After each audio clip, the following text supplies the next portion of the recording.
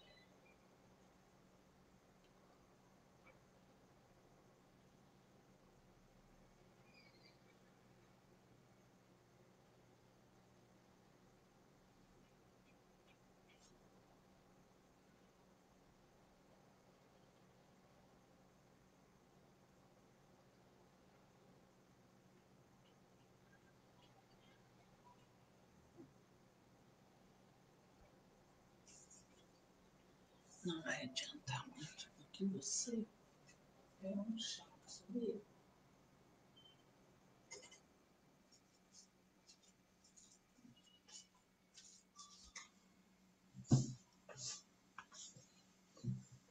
Muito bem, meus amigos, são 19 horas e nós vamos dar início ao nosso estudo, às nossas reflexões, lembrando um trechinho de uma passagem de Mateus, onde ele nos diz assim: Guardai-vos dos falsos profetas que vêm a vós com vestido de ovelhas e por dentro são lobos roubadores.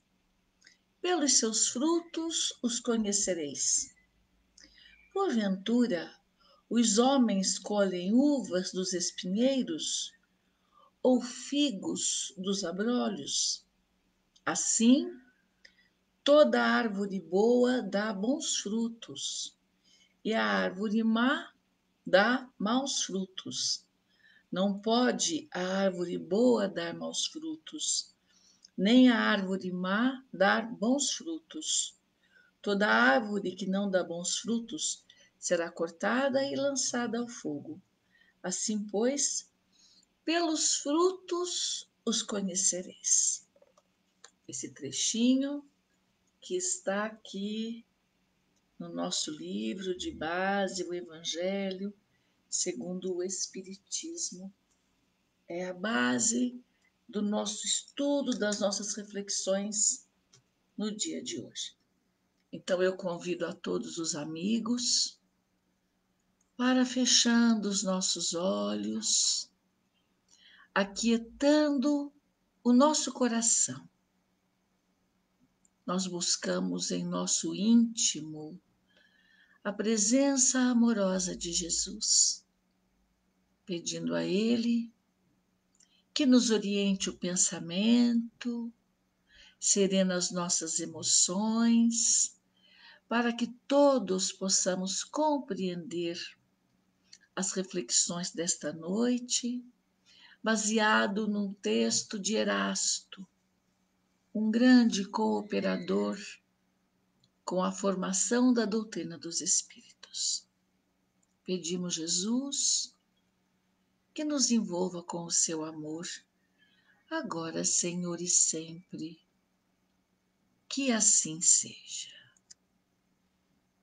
Muito bem, meus amigos. Vamos ver então o que Erasto vem dizer para nós. É o capítulo 21, fala sobre os falsos cristos e falsos profetas. Então vejamos. Caracteres do verdadeiro profeta. Erasto, Paris, 1862. Diz assim: o verdadeiro missionário de Deus deve provar o que é pela sua superioridade, pelas suas virtudes pela sua grandeza, pelos resultados e a influência moralizadora das suas obras. Este é, em linhas gerais, o caráter do verdadeiro missionário de Deus. Como é Jesus? O que ele trouxe para nós enquanto esteve por aqui? A cada passo, a cada gesto, era exatamente isso a superioridade moral de Jesus, os seus sentimentos mais nobres, a sua grandeza enquanto espírito puro. E todos nós temos no Evangelho as informações dos resultados das obras de Jesus e a sua influência moralizadora.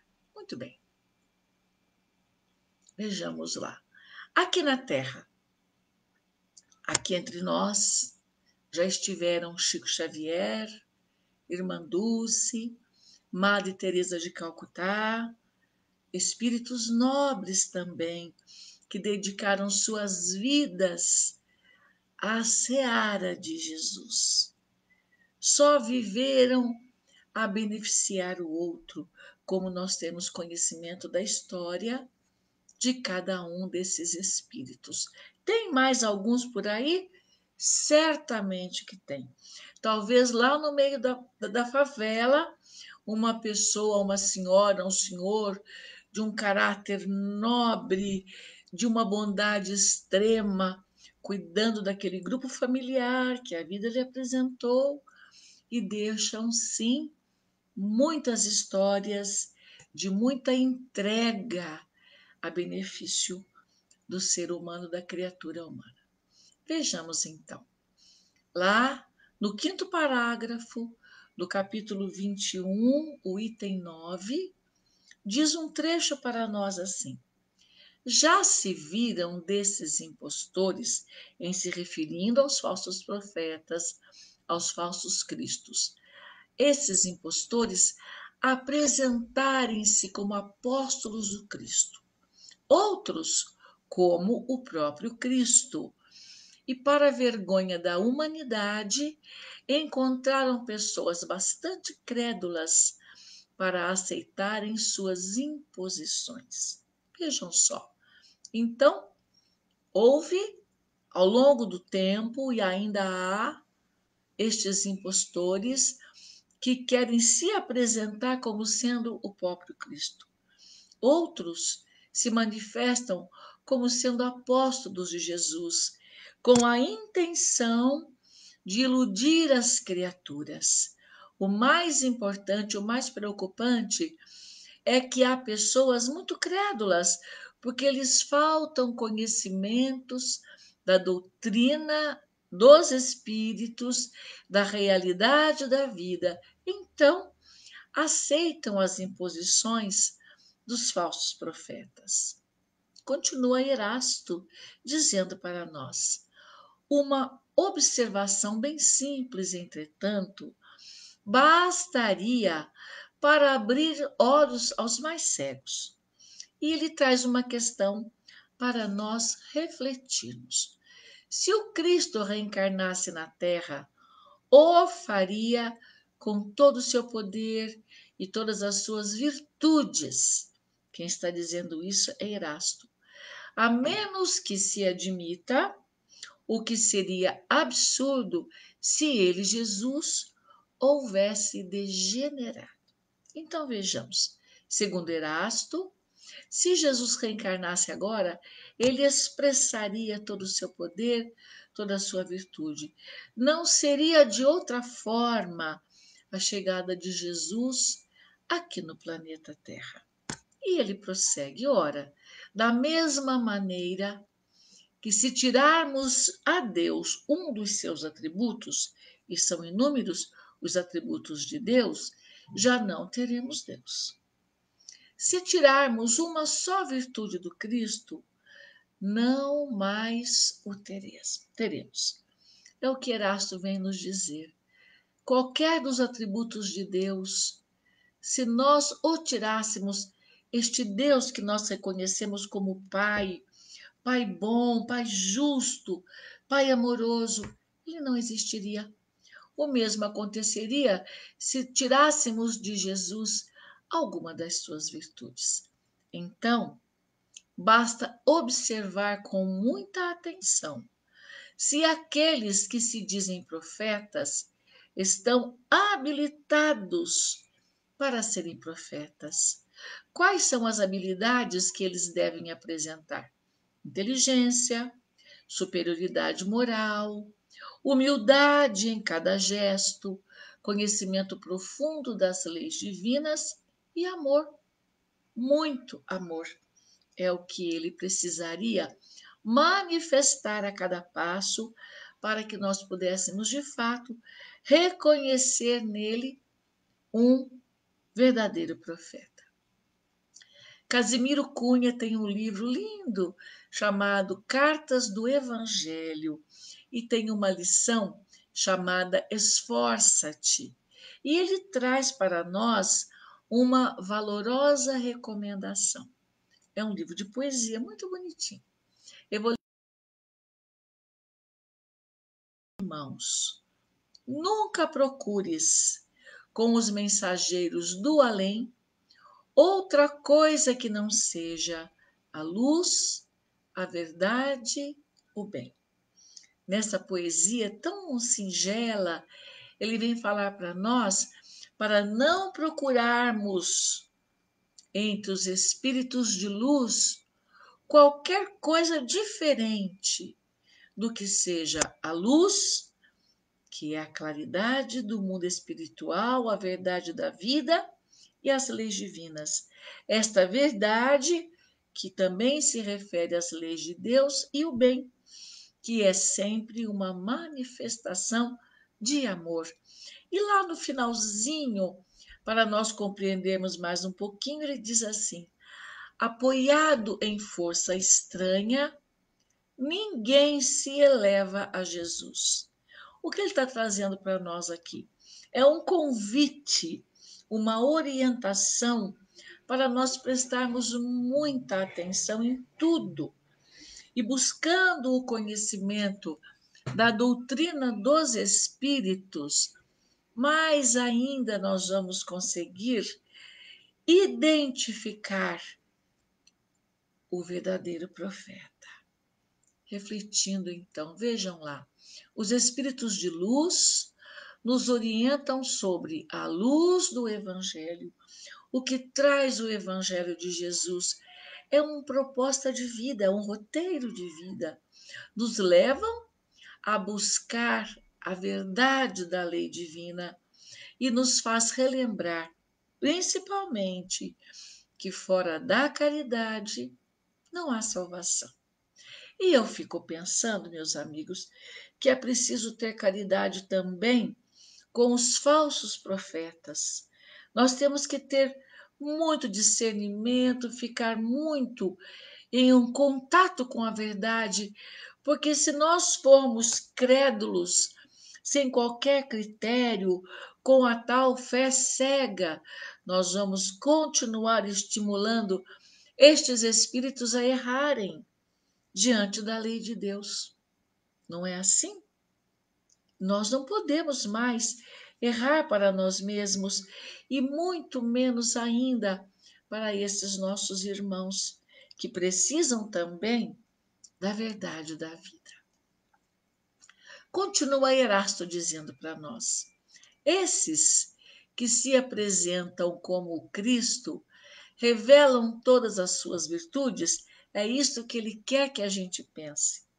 E ele chama disso de uma questão, não é? Eles revelam, eles se apresentam como Jesus viveu aqui no nosso planeta. Continua Erasto. Observai-os, sondai-lhes os pensamentos e os atos, e verificareis que lhe faltam, sobretudo, as qualidades distintivas do Cristo. Quais eram as qualidades mais expressadas por Jesus? A humildade e a caridade. Duas qualidades que ele experimentou, ele viveu e demonstrou para nós todos. Enquanto lhes sobram aos falsos profetas as que ele, Jesus, não possuía, que é a cupidez, cupidez é a ambição e o orgulho. Recomenda-nos Erasto uma séria observação sobre o que manifesta o falso profeta, sobre a forma como pensam, as atitudes que tomam, para que nós possamos verificar quais qualidades são claras nos falsos profetas porque também existe má qualidade, não é? Sempre apresentam o orgulho, o egoísmo, a cupidez, distante das virtudes de Jesus. E então é importante prestar atenção no que eles estão dizendo. E se há alguma obra literária, também ler com muito cuidado, com muita atenção e numa dúvida qualquer que haja, é importante, recomenda-se fazer um comparativo com o que nós encontramos na literatura espírita, na codificação que foi organizada pelos espíritos através de Allan Kardec. Ali está a verdade. E então, se há dúvida, é importante nós procurarmos estudar, pesquisar e nos orientarmos para então termos certeza absoluta que aquilo em que nós temos fé está em acordo com a lei divina. Do contrário, nós estaremos criando embaraços para o nosso futuro naturalmente. Continua Erasto e ele diz assim: Nota ainda que neste momento, lá por 1857, 61, é lá atrás, né? Enquanto ele estava fazendo esse trabalho. Eu até posso ver para vocês depois o ano 1862 foi quando ele escreveu. Nota ainda que neste momento existem em diversos países muitos pretensos cristos, como há também numerosos e pretensos Elias, que eram profetas. Ele era um profeta. Supostos São João ou São Pedro, e que necessariamente não podem ser todos verdadeiros. E eu fui pesquisar para saber sobre o que acontece hoje e encontrei uma nota na África do Sul, em que o governo e algumas instituições têm encontrado ali na sua sociedade falsos profetas e eles estão sendo investigados por esses órgãos governamentais, por essas instituições, para que isso possa cessar, porque está causando um mal-estar entre algumas pessoas, entre muitas pessoas naquele país. Muito bem. Erasto continua para nossa compreensão. Podeis estar certos de que são exploradores da credulidade. Ele está se referindo aos falsos profetas. Eles querem explorar aquelas criaturas ingênuas, despreparadas e distante da verdade da vida. Eles podem explorar, eles vão encontrar um caminho para isso, não é?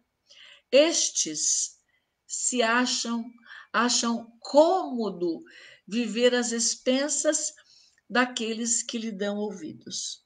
Isso é muito sério. Eles querem ter prestígio, dinheiro e, como diz aqui Erasto, acham cômodo viver às custas daqueles que lhe dão ouvidos. É mais uma razão também para pensarmos com tranquilidade, avaliar corretamente. Atuam para que possam ser mantidos financeiramente pelos crédulos. Quantas mentiras devem dizer, não é? Quanto, quantos recursos eles usam para manter a credulidade das criaturas. Tem mais um trechinho também do Casemiro Cunha, muito lindo. O título é Bilhete aos Estudiosos no mesmo livro, Cartas do Evangelho. Neste trechinho da poesia, ele diz assim para nós: eu peguei só um trechinho mesmo. Toda a verdade sem véus, e isso está muito claro na obra de Kardec. Guarda as essências dos céus no templo do coração. O que é que nos recomenda Casimiro Cunha nesse instante? é para nós buscarmos a verdade. E isso é possível se nós estudarmos profundamente a doutrina dos espíritos. É esta verdade que ele está dizendo sem véu. Não é? É sobre a lei divina, sobre a verdade do mundo espiritual, sobre a verdade de que nós somos espíritos antes daqui. Não é? Isto tudo nós vamos aprender e vamos de fato guardando no nosso íntimo. Muito bem. Então, para que nós possamos ser cuidadosos, nossa reflexão diz assim: somos capazes de observar a qualidade da mensagem usando da vigilância e da oração recomendadas por Jesus? Será que eu leio qualquer coisa, me encanto, acho formidável, me iludo? Ou eu posso até mesmo me pôr em prece, pedir ajuda para os nossos amigos espirituais, para que nós possamos ler textos dignos e verdadeiros que possam de fato nos ensinar a viver e aprender muito sobre a verdade da vida. Muito bem. Na casa espírita, que é onde trabalhamos, tenho levado a verdade do Evangelho aos corações que a buscam diante daquilo que eu acredito. E se o que eu acredito é legítimo, está mesmo contido nessas obras, como é que eu tenho feito? De que maneira eu tenho expressado aquilo que eu tenho aprendido, dividido com os amigos, para que todos possamos evoluir? Essa é a proposta. Ele ainda diz assim: Desconfiai, portanto, dos falsos profetas, sobretudo numa época de renovação. Renovação lá em 1862. Renovação hoje. Estamos vivendo uma pandemia e ela veio para nos ajudar de verdade. Está sendo um sacode para a humanidade inteira. Quantas pessoas do nosso coração, pessoas que conhecemos, que estão atravessando estas experiências, amigos queridos, trabalhadores da casa espírita, pessoas que nós temos notícia, que conhecemos ainda aqui de longe, mas temos notícia com famílias, enfim. Tudo isso está mesmo nos obrigando a viver isolado do resto, mas em família. Quanto de aprendizagem neste, neste momento de renovação da humanidade. Tem esse lado bom, não é? Estamos juntos, estamos nos amparando, aprendendo a tolerar, aprendendo a conviver, aprendendo a amar, reconhecendo o outro como um espírito, isso é muito importante. Assim, o nosso olhar fica um tanto mais de acordo com a verdade da vida. E ele continua dizendo: Eu vou repetir o texto, meus amigos. Desconfiai, portanto, dos falsos profetas, sobretudo numa época de renovação, porque muitos impostores se apresentarão como enviados de Deus. Continua aí. São os que buscam uma vaidosa satisfação sobre a terra. Mas podeis estar certos de que é uma. Perdão. Mas podeis estar certos de que uma terrível justiça os espera. Mas vejamos então, Emmanuel, no livro Caminho, Verdade e Vida, na lição 11, intitulada Conforto, diz assim para nós: o Cristo nunca faltou às suas promessas. Seu reino divino se ergue sobre consolações imortais. Mas para atingi-lo, faz-se necessário seguir passos, e ninguém ignora qual foi o caminho de Jesus nas pedras deste mundo?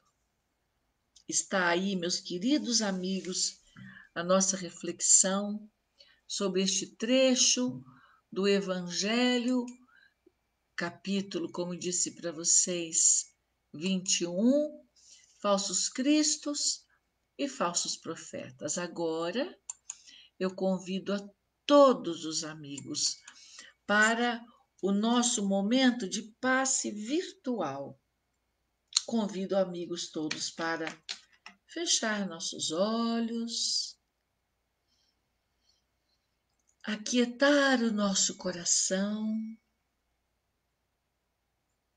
nos transportarmos mentalmente para a nossa casinha de amor, que é o Irmã Francisca.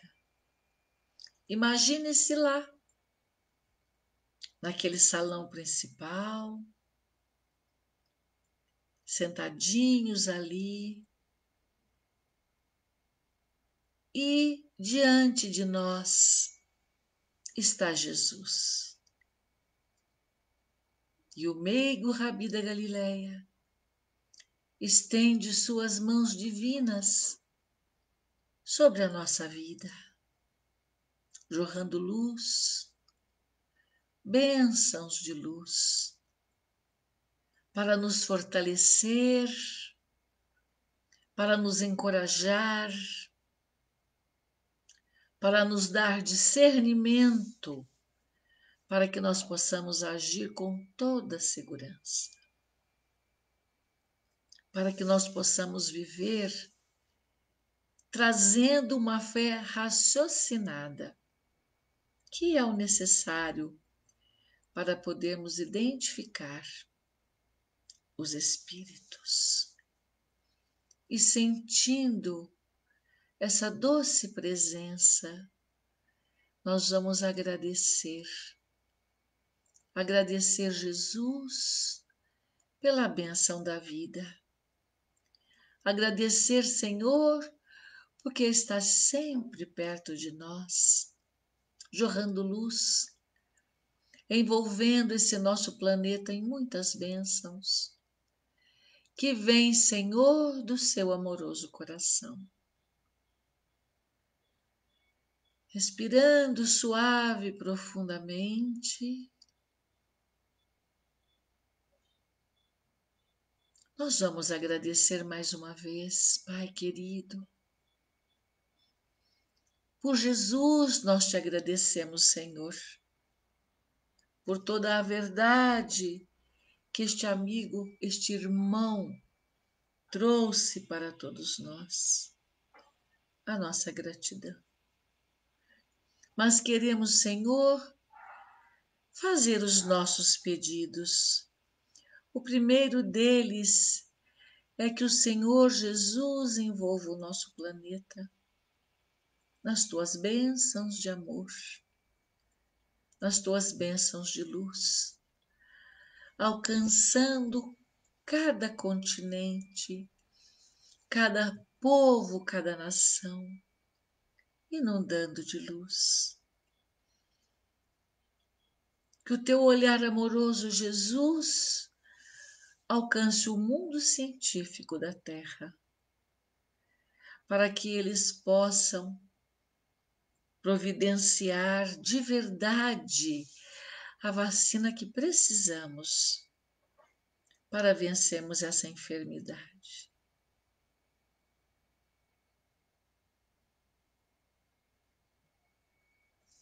Que as tuas bênçãos, Jesus, alcance cada hospital envolvendo os médicos, enfermeiros, técnicos de enfermagem, até mesmo aquela equipe de trabalhadores responsáveis pela higiene do local.